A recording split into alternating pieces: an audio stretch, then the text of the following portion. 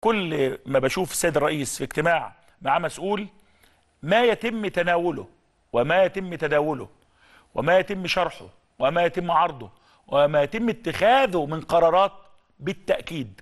بالتأكيد آه، شيء بيصب في مصلحة هذه الدولة ومصلحة الدولة هي مصلحة المواطن. لابد نعرف كده. كل يوم بتابع أقول النهارده النشاط الرئاسي أتابعه وبعرف البوصلة. لأ إحنا عندنا ملفات مفتوحة.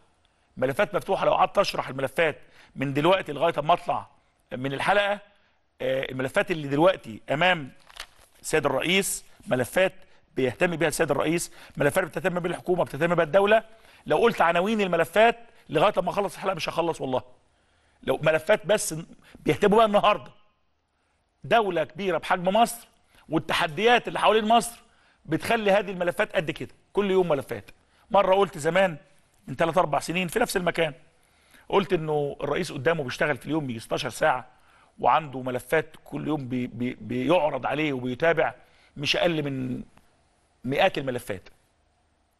كلام كنت بقوله وأنا يعني بالمنطق وبالعقل لو قعدت أقول الرئيس النهارده يهتم بإيه؟ إيه؟ ماذا في ذهن اليوم؟ اليوم مثلا ماذا في ذهن الرئيس عبد الفتاح السيسي؟ مثلا بتكلم أهو في ذهن الرئيس اليوم قضية سد النهضة. في ذهن الرئيس اليوم سير المفاوضات في سد النهضة. ده ملف. إيه اللي جوه الملف بتاع سد النهضة؟ إيه مجلس الأمن الأمم المتحدة والاتحاد الإفريقي والدول الصديقة والدول الشقيقة والسودان وغيره وغيره والناحية الفنية. ده رقم واحد. شوف رقم واحد بس فيها تفاصيل قد إيه. كل دي يعني الرئيس بيتكلم مثلا أنا متخيل يعني سيناريو تخيلي بتخيل الرئيس النهارده بيعمل إيه. أنا بتخيل أهو. بيتابع وزير الري سيد المفاوضات. بيتابع الأجهزة الأمنية اللي موجودة اللي بتتابع الموضوع اللي فيه الأسكيل- أو الأجهزة الاستراتيجية أو غيره أجهزة استخباراتيه غيره. ده ده ده ملف واحد بس اللي هو سد النهضة. اتصالات وتواصل مع كل الناس بيتابع الموضوع إيه؟ فيما يخص سد النهضة بس. ده الرئيس بيتابع مع وزير الري تبطين الترع والقنوات عشان نوفر المية. بيتابع معاه عدد محطات تحلية المية اللي وزير الري قالها قدام الرئيس بيتابعها لحظة بلحظة. ده ملف أنا ملف ملف المية بس. اتنين الملف ليبيا. الرئيس النهارده أنا بتكلم سيناريو تخيلي. إيه اللي الرئيس بيهتم بيه النهارده؟ إيه اللي بيحصل في ليبيا؟ إيه اللي حصل في ليبيا؟ مستجدات الوضع في ليبيا.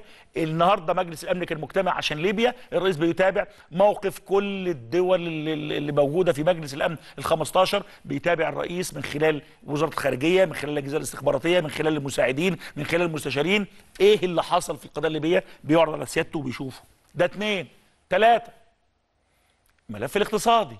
البنك المركزي عنده قد إيه احتياطي البنك المركزي دخل قد إيه النهارده؟ خرج قد إيه؟ سعر الدولار معدل النمو. يقعد الرئيس يتابع وزارة المالية يتابع وزارة الاستثمار يتابع الهيئه العامه للاستثمار يتابع وزارة التعاون الدولي. كل دول عشان يشوف الحالة الاقتصادية. الأسعار المخزون بتاع الوقود المخزون بتاع ال- ال- السلع التموينية. ده ملف تاني اللي هو ثالث ملف اقتصادي. بكل التفاصيل اللي بحكيها. تعالوا الملف الثالث الإرهاب. الإرهاب بكل تفاصيله.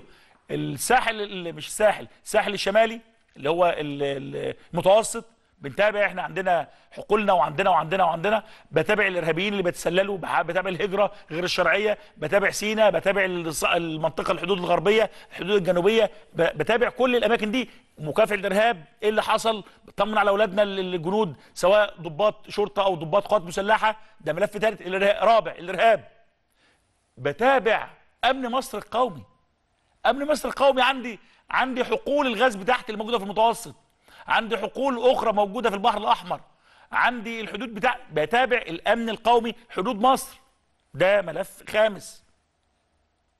أنا بق... أنا بقول ملفات يا جماعة ال... ال... تنفيذ المشروعات القومية. المشروعات القومية اللي, اللي أنتوا شفتوها خلاص خلصنا منها. معدل الإنشاء في العاصمة الإدارية والإنجاز. إمتى الافتتاحات؟ زي الرئيس ما عامل جداول زمنية. الرئيس بيتابع ال- المشروع القومي الحضاري لنقل العشوائيات إلى أماكن تليق بالناس. حي الأسمرات وإسكندرية وهنا وهنا. ومعدل الرئيس بيتكلم بيهتم بيهتم من الاهتمام ومن الهم. هم موجود أمام الرئيس. اللي هو إزاي أوفر حياة كريمة لأهالينا دول اللي اتناسوا على مدار سنين وسنين في أماكن لائقة بيهم؟ ده على في ذهن الرئيس النهارده.